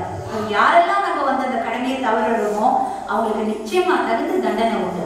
பெற்றோர்களை வந்து அதான் சொல்றாரு தாய் தந்தையே என்ன சொல்றாரு? மதித்து நட. அப்பா அம்மாவை எப்பவுமே என்ன செய்யணும்? மதிக்கணும் மரியாதை கொடுக்கணும். பெற்றவங்க இன்னைக்கு நல்லா இருக்கிறவங்க தான் நாளைக்கு வயசாகி போயிடுது. இன்னைக்கு நான் நல்லா இருக்கிறோம். அப்புறம் என்ன ஆகும்? எவ்வளவு நாளைக்கு இந்த மாதிரி சரீரத்தோடு நம்ம இருக்க முடியும்? கொஞ்ச நாளைக்கு. அதுக்கப்புறம் நம்ம எப்படி இருக்க போறோம்? வயது முதிர்ந்த தோட்டத்துல இருப்போம். அப்ப என்ன செய்வாங்க? எல்லாரும் நம்மளை ஒதுக்கதான் செய்வாங்க? அதுதான் தப்பு. பெற்றோர்கள் எப்போ என்ன செய்யக்கூடாது நம்ம? வயது முதிர்ந்த காலத்துல அவங்களுக்கு சப்போர்ட்டா நம்ம இருக்கணும். அல்லேலூயா தாய் வந்து தாய் தந்தைக்கு வந்து கண்டிப்பா முக்கியத்துவம் கொடுக்கணும். இன்னைக்கு நான் உங்ககிட்ட இந்த வார்த்தை சொல்லிக்கிட்டு இருக்கிற ஒவ்வொரு வார்த்தையும் ஏசப்பா பைபிள்ல கொடுத்துருக்கிற வார்த்தையை தான் நான் சொல்லிக்கிட்டு இருக்கேன். அதே போல நீங்க நடக்கணும் அப்படின்னு சொல்லணும்னு கடவுள் என்னை கட்டளையிட்டு அனுப்பியிருக்கிறாரு. அதுக்கு தான் நான் வந்து சொல்லிட்டு இருக்கேன். ஒரு முறை நான் வந்து உங்ககிட்ட பேசிட்டு போகும்போது மதமா கிட்ட எனக்கு வந்த பதில் என்ன தெரியுமா? நீ இன்னும் அதிகாரமா பேசல அப்படின்னு சொன்னாங்க. அலையலுயா ஏன் சொல்றாங்கன்னா அவங்க வேதனைப்படுறாங்க. ஒவ்வொரு மக்களை குறித்து கஷ்டப்படுறாங்க அவங்க இங்க பார்த்துக்கிட்டு இருக்கிறாங்க இந்த கோவிலுக்குள்ள வந்தா தான் உங்களை பார்ப்பாங்கன்னு இல்ல. நீங்க எந்த சூழ்நிலையில எந்த நேரத்துல எல்லா நேரங்களிலும் உங்களை கடவுள் பார்த்துக்கிட்டு தான் இருப்பாரு. நீங்க என்னெல்லாம் செய்றீங்கன்னு பார்க்கறதுக்கு தான் கடவுள் இருக்கிறாரே தவிர அவர் உங்களை கைவிடுறதுக்காக இல்ல. ஒருத்தரையும் அவர் விட மாட்டாரு. ஒரு முறை ஒரு திருச்சபைக்குள்ள நான் ப்ரேயர் பண்ண போயிருந்தேன். அப்ப கடவுள் என்கிட்ட சொன்னாரு இந்த தெருவுல இத்தனாவது இடத்துல வந்து மரியாதை ஒரு அம்மா இருக்காங்க அவங்க கூட்டிட்டு வா போயின்னாரு. அப்ப நான் சொன்னேன் மரியாதை இந்த தெருவில் யாருன்னா இருக்கிறாங்களான்னு கேட்டேன். அப்போ அவங்க சொன்னாங்க ஐயோ அந்த அம்மாவா? அப்படின்னாங்க. அந்த அம்மா எப்படி இருக்கிறாங்க தெரியுங்களா? ரொம்ப வயசானவங்க மூணு போட்டுக்கிட்டு அவங்களால நடக்க கூட முடியல. அவங்க திருச்சபைக்கு வராம இருந்தாங்க. அப்படிப்பட்ட அந்த அம்மாவை யார் எதிர்பார்க்கறாங்க? கடவுள் எதிர்பார்க்கறாங்க ஹalleluya. நம்ம வேண்டாம் நினைக்கிறோம். அவங்க நமக்கு உதவே மாட்டாங்க. அவங்க ஒண்ணுமே கிடையாது நம்ம மதிக்கிறதே கிடையாது அவங்கள. ஆனா கடவுள் என்ன செய்யறாரு அவங்கள எதிர்பார்க்கறாரு. அப்போ நம்மளுடைய உடலாலோ நம்ம வயதையோ அவர் பார்க்கறதே கிடையாது. அவருடைய பிள்ளைங்கன்னா அவர் அவரு அதை அவர் ஏத்துக்கிறாரு. ஹalleluya. அதனால பெற்றோர்களுக்கு கீழ்ப்படிந்து இருக்கணும். தாய் தகப்பனுக்கும் நம்ம கனம் செய்யணும். இன்னைக்கு நம்ம பிள்ளைங்க நம்ம நம்ம வந்து நம்ம அப்பா அம்மாவுக்கு செஞ்சாதான் அடுத்து வந்து நம்ம பிள்ளைங்க வந்து நம்மளுக்கு செய்வாங்க. யாரெல்லாம் இன்னைக்கு அப்பா அம்மா வேண்டாம் அப்படின்னு ஒதுக்குறீங்களோ அவங்களுக்கு பின் விளைவுகள் கண்டிப்பாக வரும். நான் உங்களுக்கு சபிக்கிறேன்னு நீங்க நினைக்காதீங்க. இதுதான் நிச்சயமா லைஃப்ல நான் பார்த்துக்கிட்டு வரேன். அப்ப அதனால நான் என்ன சொல்றேன்? முதியோர்கள் மீது தயவு செய்து இரக்கமாயிருங்க அன்னை தேசமாவை பாத்தீங்களா அன்னை தேசம் கிட்ட உங்களுக்கு தெரியும் இல்லையா? அவங்க பாருங்க ஏழை எளிய மக்கள் கிட்டேயும் முதியோர்கள் மீதும் எத்தனை முதியோர் இல்லம் இருக்குது இல்லையா? இருக்கா? அனாதை குழந்தைங்க இப்படியாக கடவுள் என்ன செய்தார் பாருங்க எல்லார் மேலேயும் இறக்கப்படணும் அப்படின்னு விரும்புறாரு. இப்ப வந்து எத்தனையோ சபைகள்ல எத்தனையோ பேர் பேசிக்கிட்டு இருக்கிறாங்க. சென்னையில காஞ்சிபுரத்துல வேலூர்ல பாண்டிச்சேரியில. ஆனா நான் அங்கெல்லாம் பேச விரும்பல. ஏன் தெரியுமா? நான் இந்த மாதிரி இருக்கக்கூடிய மக்களுக்கு வந்து சாட்சி சொல்லவும் ஜபத்துக்கு ஜெபத்துக்கு வர்றதுக்கும் ஆள் கம்மி. இல்லையா மக்களே? உண்மையா இல்லையா? கரங்களை தட்டி சொல்லுவோமா? அலே உங்களெல்லாம் பார்க்கணும்னு தான் நான் ஆசைப்படுறேன். இங்க உட்கார்ந்துட்டு இருக்கிற எல்லாரும் என்னுடைய சகோதரிகள். இந்த பக்கத்து எல்லா என்னுடைய சகோதரர்களா நான் நினைக்கிறேன். நீங்க என் மேல அன்பு வைக்கிறீங்களான்றது எனக்கு முக்கியம் இல்ல. நான் உங்க மேல அன்பு வச்சிருக்கிறேன். பிரைஸ் எல்லாம் இததான் தேவன் சொல்றாரு. ஹalleluya கடவுள் என்ன சொல்றாரு பாருங்க. ஒருத்தர் மேல ஒருத்தர் அன்பு வைங்க. இப்ப சில நேரம் கேட்கலாம் அம்மா நாங்க அவங்க மேல அன்பு வச்சா கூட இந்த முதியோர்கள் இந்த வயசானவங்க எங்களை சும்மா திட்டிக்கிட்டு இருக்கிறாங்க எங்களை தொல்லை பண்றாங்க அப்படின்னு நீங்க கேட்கலாம். அப்ப நான் என்ன சொல்றேன்னா அவங்க வயது ஆக ஆக அவங்க குழந்தை மாதிரி ஆயிடுவாங்க. உங்க குழந்தை அடப்பாடுமா பண்ணாதா நீங்க சாப்பாடு கொடுக்கலன்னா கோச்சிக்கும் அந்த குழந்தை. வயதாக ஆக அவங்க எப்படி ஆயிடுறாங்க? குழந்தை மாதிரி ஆயிடுறாங்க. அப்ப அவங்க என்ன செய்யறாங்க நம்மளுக்கு சாப்பாடு கொடுக்கலையே அப்படின்னு சொல்லிட்டு உடனே கோச்சிப்பாங்க. அடுத்து என்ன செய்வாங்க? நம்ம வந்து சொல்றத கேட்கலையே நம்ம பிள்ளைங்க அப்படின்னு நினைப்பாங்க. நீங்க நிறைய செலவு பண்ணுவீங்க. உங்க அம்மாவோ மாமியாரோ வயசானவங்க வீட்டுல இருந்தா என்ன பண்ணுவாங்க தெரியுமா? ஏன்மா இவ்வளவு செலவு பண்றேன்னு சொல்லுவாங்க. அது நம்மளுக்கு எப்படி இருக்கும்? தப்பா தான் தெரியும். ஆனா அவங்க சொல்ற ஒவ்வொரு வார்த்தைக்கும் உள்ள அர்த்தம் இருக்கும். ஹalleluya. ஹalleluya. அதே போல நானும் சொல்றேன். அந்த வயது முதிர்ந்த காலத்துல அடுத்து வரக்கூடிய மருமகள் கிட்ட நம்மள எப்படி இருக்கணும்? அன்பா இருக்கணும். நீங்க அன்பா இருந்தீங்கன்னா தான் அந்த அன்பு ரெண்டு மடங்கா உங்களுக்கு திருப்பி கிடைக்கும். ஹalleluya இயேசு கிறிஸ்து உங்களை காத்துக்கிட்டு இருக்கிறாரு. நீங்க செய்யற தவறுக்கு நிச்சயம் நீங்க ஒரு நாள் பதில் சொல்லணும். அது நம்ம பிள்ளை வழியா அவர் நம்ம கிட்ட வாங்கிட கூடாது எதையும் ஹalleluya அதனால ஒருத்தர் ஒருத்தர் மேல அன்பா இருக்கணும்ன்றதுதான் கடவுள் இருக்கும் அடுத்து வந்து தாய் தந்தையை மதித்து நட அப்படின்னு சொன்னாரு. அதுக்கு அடுத்தது அவருடைய கட்டளைகள் என்ன சொல்றாருன்னா உன் கடவுளாகிய ஆண்டவர் பெயரை வீணாக பயன்படுத்தாதே. கடவுள் வந்து எல்லாத்தையும் செஞ்சுட்டு கட கட கடன்னு திட்டிடுறது சாபம் விட்டுடுறது பக்கத்துல சண்டை போட்டுடுறது. அதுக்கப்புறம் கடவுள் அவனை தண்டிப்பாரு அப்படின்னு சொல்றது. கடவுளுடைய வார்த்தை என்ன சொல்லக்கூடாது? நீ தான் சொல்லக்கூடாது. கடவுள் யாரையும் தண்டிக்கிறவர் இல்ல. அவர் எல்லாருக்கும் அப்பா. ஒரு பிள்ளைக்கு வந்து நாலு பொண்ணு இருக்கு அஞ்சு பிள்ளை இருக்குதுன்னா அவர் என்ன செய்ய முடியும் அவரால்? எல்லா குழந்தையும் தான் அப்பா பார்த்துக்க முடியும். நீங்க நினைக்கலாம் அப்பாவுக்கு என் மேல பாசம் இல்லை. அம்மாக்கு என் மேல பாசம் இல்லைன்னு பாசம் இல்லாம யாருக்கும் இருக்காது. நீங்க பேசுற வார்த்தையால அவங்க கொஞ்சம் வருத்தப்பட்டு இருப்பாங்க அவ்வளவுதானே தவிர மற்றபடி அவங்க மேல கோபம் இருக்கவே மாட்டாங்க. ஹalleluya அப்ப வந்து கடவுள் என்ன செய்யறாரு பாருங்க. கடவுளுடைய பெயரை வீணா சொல்லக்கூடாது. கடவுள் பார்த்து நழிச்சிடுவாரு கடவுள் பார்த்து தண்டிப்பாரு. கடவுள் பாருங்க கை காலை உடைச்சிடுவாரு. இது மாதிரி ஒரு சண்டையை நான் பார்த்தேன். இது மிகப்பெரிய தவறு. அந்த மாதிரி யாரும் வந்து கடவுளை சண்டைக்கு கூப்பிடாதீங்க கடவுள் நேரத்துல கேக்குறாரு ஒருத்தர் போய் என்ன செய்யறாரு அந்த சொத்துல எனக்கு பாகம் வச்சு கொடுங்கன்னு கேக்குறாரு பைபிள்ல ஒரு கதையில ஒரு வார்த்தைகள்ல அந்த நற்செய்தியில. அப்போ கடவுள் சொல்றாரு உங்களுக்கு பஞ்சாயத்து பண்றது நான் தான் உங்களுக்கு யார் சொன்னதுன்னு கேக்குறாரு. ஹalleluya. நான் பஞ்சாயத்து பண்ணுவேன்னு உங்களுக்கு யார் சொன்னது? அப்படின்னு அப்புறம் ஒரு கண்ணை தரல மறு கண்ணத்தை காட்டுன்னு தான் சொல்றாரு. இன்னைக்கு இந்த சொத்து உங்களுக்கு வேணும்னு நீங்க நினைச்சுக்கிட்டு இருக்கிறீங்க. அது கடவுள் சித்தமா இருந்தா அது உங்களுக்கு வந்துடும் அது கடவுள் சித்தம் இல்லைன்னா அது உங்களை விட்டு போட்டோம். அது போச்சுன்னா உங்களுக்கு ரெண்டாவது கடவுள் தருவாரு. ஹalleluya. நீ இன்னைக்கு வீடு கட்ட முடியலன்னு கவலைப்படுறீங்களா? ஆனா பாருங்க உங்க பிள்ளைங்க வீடு கட்டி முடிப்பாங்க. ஹalleluya. இயேசுக்கு மகிமை உண்டாவதாக. நீங்க நினைக்கலாம் எனக்கு ஒரு சொந்த வீடு இல்ல. என்ன ரொம்ப கேவலமா பேசுறாங்கம்மா. என்கிட்ட எதுவுமே இல்ல அப்படின்னு நீங்க நினைக்கிறீங்க.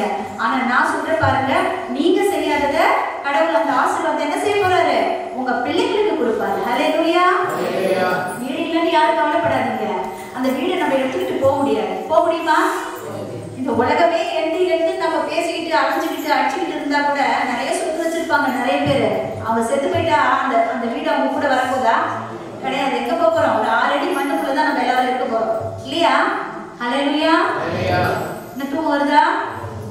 சாத்தா என்ன கூப்பிடுறானா அடுத்து வந்து களவு செய்யாதே. அடுத்து என்னது?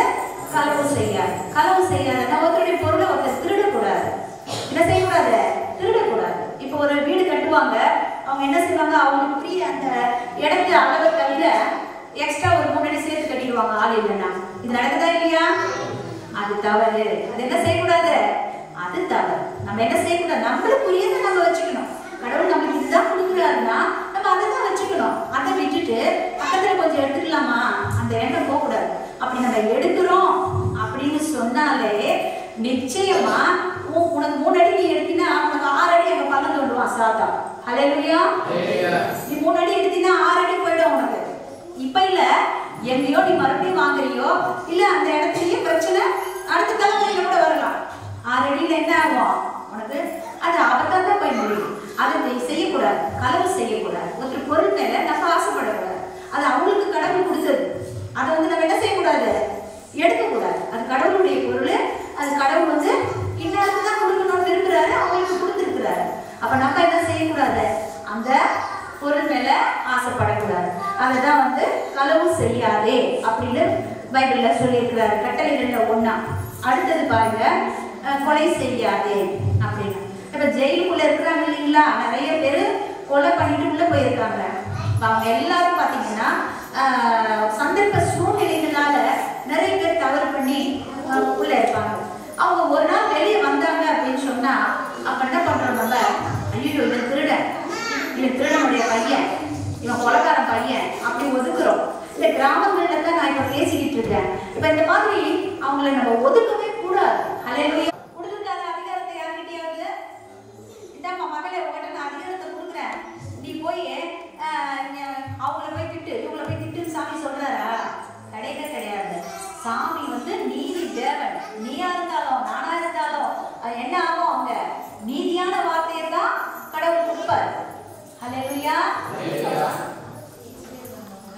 வந்து கோபம் வந்து ரொம்ப மிகப்பெரிய ஒரு சாத்தானுடைய ஒரு ஆசீர்வாதம் தான் அந்த கோபம் சொல்றது. ஒரு அளவுக்கு தான் ஒரு மனுஷனுக்கு கோபம் வரணும். அதை மிஞ்சி அந்த கோபம் அதிகரிக்காத அதிகரிக்காதபடிக்கு நீங்க கடவுள்கிட்ட வேண்டுங்க. என்ன செய்யுங்க? கடவுள்கிட்ட வேண்டுங்க. அப்படி நீங்க வேண்டும் போது தான் அந்த கோபம் நம்மளுக்கு குறையும். கோபம் அதிகமானா என்ன ஆகும்? பீபி ஆகும். என்ன ஆகும்? பிபி வரும். நீங்க கோபப்பட்டு நீ கத்தி நீ அழுதினா யாருக்கு அது கேடா போவோம் உங்களுக்கு தான் வேதனை இல்லையா? உங்களுக்கு தான் வேதனை. அப்ப நீங்க என்ன செய்யணும்? கோபப்படாதீங்க. உங்க கோபத்தை குறைச்சிக்கோங்க. அதுக்கு அடுத்த கட்டம் நீங்க என்ன செய்யணும் அப்படின்னு சொன்னீங்கன்னா கடவுளுடைய வார்த்தை பிரகாரம் பாருங்க. ஒரு என்ன சொல்றாரு? கொ- கொலை செய்யாது. அதே போல ஜெயிலில் இருக்கிற எல்லாருமே கெட்டவங்க கிடையாது. இப்ப வாழ்ந்துட்டு இருக்க எல்லாருமே நல்லவங்க கிடையாது. அலையா இது உண்மையா இல்லையா? உண்மையா? உண்மைதான் அலையா சொல்லுங்க எல்லாரும். அலையா அலையா அதனால நம்ம யாரையும் ஒதுக்கவே கூடாது. அவங்கள ஒதுக்கும் போது நம்மள கடவுள் ஒதுக்கிடுவார். ரைஸ் எல்லாம் அவங்க கொலை பண்ணிட்டு அவன் திருடிட்டு அதை நீ வந்து அது தண்டனை கொடுக்க வேண்டாம். அது என்ன இருக்குது? சட்டம் இருக்குது. அதுக்கு தண்டனைக்குரிய நீதிபதி இருக்கிறாரு. எல்லாத்துக்கும் மேல நீதிபதி. அங்கிருந்து தப்பிக்கலாம். ஆனா கடவுள்கிட்ட இருந்து தப்பிக்கவே முடியாது. பிரைஸ் அந்த எண்ணங்கள் யாருக்குமே வரக்கூடாது. ஒரு சண்டை போடுறோம் அப்படிங்கும் போது நம்ம என்ன செய்யணும்? வெட்டிடுற பாரு குத்திடுற பாரு சில பேர் வார்த்தையை சொல்லுவாங்க. சில பேர் என்ன பண்ணுவாங்க? வேகமா அடிக்க போவாங்க. அந்த மாதிரி அடித்தடி எல்லாம் நம்ம பிள்ளைங்க செய்யக்கூடாது. ஏசுவி நாமத்தினால நான் சொல்றேன். இந்த கத்தோலிக்க திருச்சபையில நான் துணிச்சு தைரியமா தான் பேசணும்னு நினைச்சுதான் நான் வந்திருக்கேன். இப்ப நான் சொல்றது என்னன்னா இந்த மாதிரி கொலை செய்யக்கூடாது அப்படின்னு சொல்லிட்டு கொலை செய்யக்கூடாது. அந்த எண்ணங்கள் நம்மளுக்குள்ள வரவும் கூடாது. யாருக்கும் அடிக்கிற அளவுக்கு நம்ம கோபம் கூடாது. எல்லாருக்கும் சுதந்திரம் உண்டு. எல்லாருக்கும் கடவுள் சுதந்திரம் கொடுத்துருக்கிறாரு. நம்ம புடிச்சு உள்ள போடுறதால இன்னைக்கு நீ புடிச்சு உள்ள போட்டு வந்துருவ. ஒருத்தர் தப்பு பண்ணிட்டாங்கன்னு நீ தண்டனை கொடுக்க வேண்டாம். அதை கடவுள் கொடுப்பாரு. அலையா நான் ஒரு பத்திரிகையில இப்ப லேட்டஸ்டா நான் படிச்சேன். ஒரு திருடன் என்ன செய்யறான் கல்யாணம் பண்ணி வெளியே வந்து கல்யாணம் பண்ணிக்கிட்டான் அவன் என்ன நினைக்கிறான்னா நான் நேர்மையா வேலைக்கு போகணும் சம்பாதிக்கணும் என் மனைவி அதை தான் விரும்புகிறா நீங்களோட கேள்விப்பட்டிருப்பீங்க. அப்படின்னு சொல்லிட்டு ஒருத்தர் திருந்தி வரான் யார் வேலை கொடுக்க மாட்டாங்க என்ன காரணம்னா இவன் எப்படி இந்த திருந்தி திருச்சி இருக்க போறான் திருடிட்டு தான் போவான் மறுபடியும் அப்படின்னு நினைக்கிறாங்க. ஒரு தப்பு செய்தவன் திரும்ப திரும்ப தப்பு செய்வான்னு நம்ம வந்து முடிவே பண்ணக்கூடாது. இன்னைக்கு யாரெல்லாம் தவறு பண்றோமோ நாளைக்கு அவங்க எல்லாம் பெரிய பெரிய பெரிய பெரிய அற்புதங்கள் எல்லாம் செய்வாங்க. கடவுள் அவங்களுக்குள்ள பெரிய ஒரு கிருமியை கொடுத்துருப்பாரு. அவங்க திருந்தறதுக்கு ஒரு மனமாற்றம் கிடைச்ச உடனே அவங்களால பல பேருக்கு அற்புதம் நடக்கிறதுக்கு கடவுள் எழுதி வச்சிருப்பாரு. ஹalleluya யாரை என்ன செய்யக்கூடாது? நம்ம தீர்ப்பிடக்கூடாதுன்னு சாமி சொல்றாரு. அதுக்கு அடுத்தது பாருங்க கடவுளுடைய வார்த்தைகள் ஒவ்வொன்றையும் நீங்க கேட்கணும் அப்படின்ட்டு தான் இன்னைக்கு இதெல்லாம் நான் எழுதி கொண்டு வந்திருக்கிறேன். அடுத்து வந்து விபசாரம் செய்யாதே. ஹalleluya நம்ம உடம்புல பாவம் இருக்கக்கூடாது.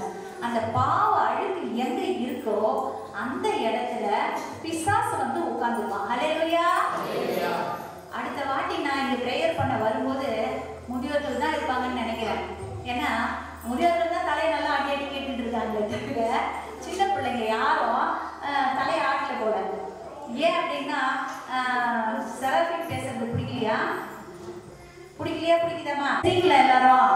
ரொம்ப சோகமா இருக்கிறீங்களே?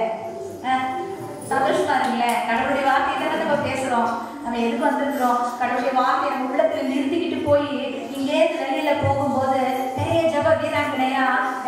துடிப்போடு கூட. நம்ம போய் நாலு பேருக்கு ஆசீர்வாதத்தை சொல்ற மாதிரி நம்ம போவோமே. ஹalleluya. ஹalleluya. இயேசுக்கே மகிமை உண்டாவதாக. ஆக நம்ம என்ன செய்யறோம் அப்படின்னா கடவுளோட எல்லாம் வந்துட்டீங்களா இங்க இல்லை தானே இருக்கிறீங்க? இப்ப நான் சொல்றதெல்லாம் யாரையோ பாக்கினர் ஒரு இறைச்சி சொல்றாங்கன்னா அவங்க எப்படி சொல்லுவாங்க? ஃபாதர் வந்து பைபிள்ல படிச்சு படிச்சு சொல்லிட்டு போயிடுவாரு. அவர் சொல்றதை யாரும் கேட்கறது இல்லை ஆனா அந்த இறை செய்தி சொல்றவங்களுக்கு வந்து எப்படி கடவுள் ஆசீர்வாதம் கொடுக்குறாருன்னா உள்ளதை உள்ளபடி போய் சொல்லு அப்படின்னு புடிச்சு தள்ளி விடுறாரு. அல்லேலூயா. கடவுள் என்னை செய்யறாரு நீ போ மகளே நீ சொல்லு அப்படின்றாரு. அவர் பேச முடியாத வார்த்தைகளை பைபிள் வழியா சொல்றாரு ஃபாதர் வழியா சொல்றாரு. அப்போ நம்ம செவிக்கு எட்டல அப்படின்னும் போதுதான் ஒரு இறை வாக்கினர் வழியா கடவுள் நம்ம கூட பேசுறாரு. அலையா சத்திய மகிமை. மரிய வாழ்க. சரி. இப்போ இந்த பக்கம் ஆண்கள் கூட்டத்தில் தான் சவுண்டு வருது. பெண்கள் பக்கம் சவுண்டு வரல. இப்போ பெண்கள் மட்டும் சொல்லுங்க அலையா மரிய வாழ்க. மரிய வாழ்க. என்ன இருந்தாலும் ஆண்கள் ஆண்கள் தான். கம்பீரமான கடவுள் என்ன சொல்றாரு பாருங்க. பாவம் செய்யாதே அப்படின்னு சொல்றாரு. செஞ்சிருக்கலாம்.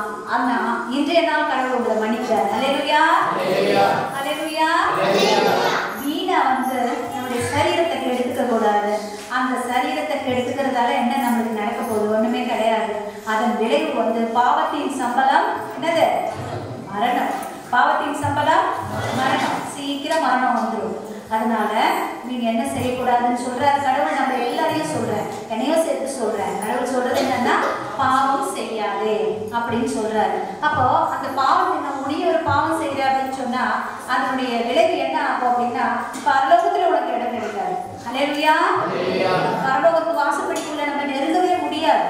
அப்போ என்ன செய்யறாரு கடவுள்? உன் கை பாவம் செய்தா உன் கையை இங்கே வெட்டி கொண்டுன்றாரு அப்போ உன் மொத்த உடம்பு தப்பிச்சு கொண்டுறாரு உன் காலுக்கு வந்து தப்பு பண்ணுதா? இந்த காலை வெட்டி போடும் அப்ப என்ன ஆகும்? கால் இல்லாம கூட நீ பரலோகத்துக்கு வந்துடலாம்? ஆனா உடைய மொத்த உருவமும் பாவம் செஞ்சு நீ வர வரது வரவே முடியாம நரகத்துக்கு போயிடுங்க அப்படின்னு சொல்றாரு. ஹalleluya அதனால பாவம் வந்து செய்யக்கூடாது விபச்சாரம் செய்யக்கூடாது அது சொல்றாரு கடவுள்.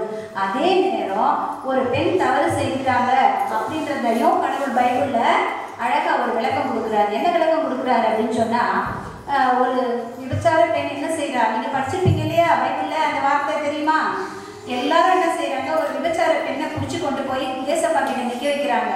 கடவுளே இந்த பொண்ணை நாங்கள் கை களமா பிடிச்சிட்டோம். இவ விபச்சாரம் செய்கிறா அப்படின்னு சொல்கிறாங்க அப்போ ஜீசஸ் என்ன சொல்கிறார் தெரியுமா? தரையில் உட்காந்து எழுதிக்கிட்டே இருக்கிறாரு. திரும்ப திரும்ப சொல்றாங்க. ஏன்னா இவரு மோசே சட்டத்தை மாத்தி சொல்லுவாருன்னு அவங்க எதிர்பார்த்து இவர்கிட்ட சொல்றாங்க. அப்ப கடவுள் என்ன சொல்றாரு தெரியுமா? உங்கள யாரு பாவம் செய்யலையோ அவங்க அந்த பெண் மேல கல் எறிங்கன்னு சொல்றாரு. ஹalleluya. என்ன சொல்றாரு? நீங்க எல்லாரும் நல்லவங்க மாதிரி என்ன பண்றீங்க? அந்த ஒரு பொண்ணு குற்றவாளி நீங்க சொல்றீங்களா சரி. அப்போ இந்த கூட்டத்துல எவ்வளவு பேர் இருக்கிறீங்க? உங்கள யார் பாவம் செய்வீங்களோ அவங்க இந்த பெண்ணு மேல கல்லெறிங்கன்னு சொல்றாரு. ஏன்னா மோசை சட்டத்துல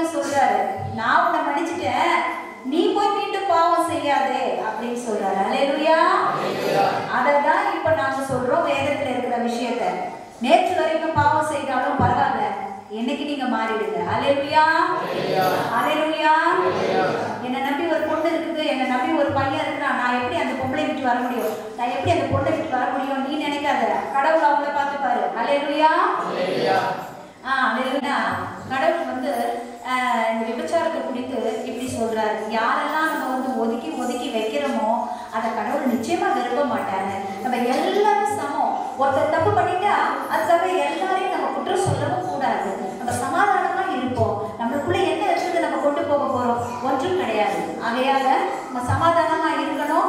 பாவம் செய்யக்கூடாது அப்படின்னு கடவுள் சொல்றாரு. பிறருக்கு எதிராக வந்து பொய்ச்சான்று சொல்லக்கூடாது. பிறருக்கு எதிராக பொய் சான்று சொல்லக்கூடாது. கடவுள் என்ன செய்யறாரு அப்படின்னு சொன்னா ஒரு பொய் சான்று சொல்றாரு. பொய் பொய் சொல்றது மற்றவங்களுக்கு பதிலாக கோர்ட்டில் போயிட்டு கோர்ட்டில் போயிட்டு என்ன சொல்றாருன்னா பொய் சாட்சி சொல்றது. அந்த பொய் சாட்சி என்ன செய்யக்கூடாது? சொல்லக்கூடாது. நம்ம கண்ணால பார்க்காம காதால கேட்காம ஒருத்தரை குற்றவாளியா நம்ம என்ன செய்யக்கூடாது? தீர்ப்பிடக்கூடாது. ஹalleluya. அந்த பொய் சாட்சியால ஒரு குடும்பமே அழிஞ்சு போயிடும். அவங்க எவ்வளவு வேதனைப்படுவாங்க. நிறைய இடங்கள்ல அந்த மாதிரி பொய் சாட்சி சொல்றதால தற்கொலை பண்ணிக்கிறாங்க. ஹalleluya. பொய் பொய்யா தெரியாததெல்லாம் நம்ம பார்க்காதத நம்ம காணாத விஷயங்கள் எல்லாம் நம்ம போய் என்ன செய்யறோம்? சாட்சியா சொல்றோம் சில நேரத்துல. ஏப்பா நீ பாத்தியா? அந்த பொண்ணு வந்து திருடிச்சா அப்படின்னு கேட்டா ஆமா திருடிச்சு நான் பார்த்தேன். ஆனா அவங்க பார்த்தே இருக்க மாட்டாங்க. ஹalleluya. அதனால பொய் சாட்சி என்ன சொல்லக்கூடாது? நம்ம சொல்லக்கூடாது. கடவுளுக்கு இதெல்லாம் விருப்பம் கிடையாது. பிறர் வீட்டையோ பிறர் இடத்தையோ நம்ம கவர்ந்து கொள்ளவும் கூடாது. இப்படிப்பட்ட காரியங்களை தான் கடவுள் வந்து நமக்கு மோசை வழியா சட்டத்துல கொடுக்குறார். பிறர் உனக்கு என்ன செய்ய வேண்டும் என்று நினைக்கிறாயோ அதையே பிறருக்கு செய்ய வேண்டும். எல்லா கட்டளைகளிலும் மிக சிறந்தது அன்பு அப்படின்னு சொல்றாரு.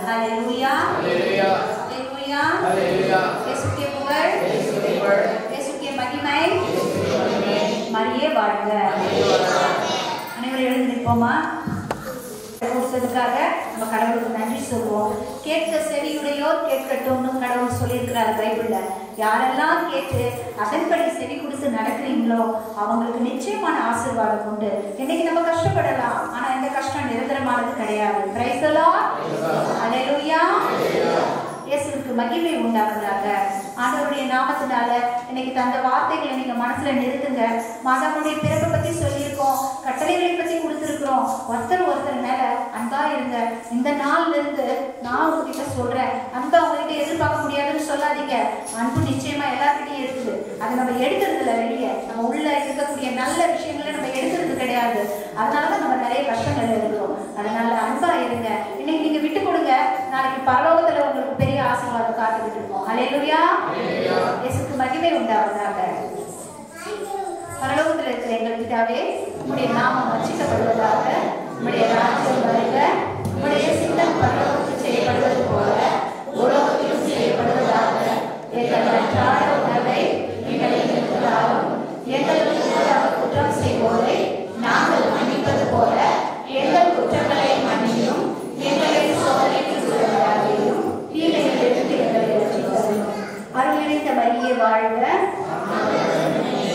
எங்களுக்குள் ஆசிரியப்பட்டவர் நீரே உங்களுடைய வயிற்றின் கனியாகிய இயேசுவும் ஆசீர்வதிக்கப்பட்டவரே அச்சிஷ்ட மரியாதையே சர்வேஸ்வரிய மாதாவே பாவிகளாக இருக்கிற எங்களுக்காக இப்பொழுதும் எங்கள் மன நேரத்தில் வேண்டிக் கொள்ளும் ஆமென் இயேசுவிற்கே புகழ் இயேசுக்கே மகிமை மரியே வாழ்க தேங்க்யூ இயேசுவின் அன்புக்குரிய சகோதர சகோதரிகளே இந்த புதிய ஆண்டிலே மிக அற்புதமாக நமக்கு இந்த நாள் அமைந்திருக்கின்றது இன்று இறை ஊழிய திருமதி சகோதரி சராபின் அவர்கள் நமக்கு அற்புதமான செய்தி வழங்கி அன்னை மரியாதை வழியாக இறைவன் எப்படியெல்லாம் நம்மை ஆசிர்வதித்திருக்கிறார் நம்மை மீட்பின் பாதையிலே வழிநடத்தியிருக்கிறார் என்பதை மிக தெளிவாக நமக்கு எடுத்து எழுந்திருக்கிறார்கள் நாளிலே மத்தியிலே அவர்கள் வந்து இறை செய்தியை சொல்லி நமக்கு ஜெபித்து இறை ஆசிரியரை பெற்று தந்திருக்கிறார்கள். கரம் தட்டி சகோதரிகளுக்கு நமது நன்றியை தெரிவித்துக் கொள்வோம்.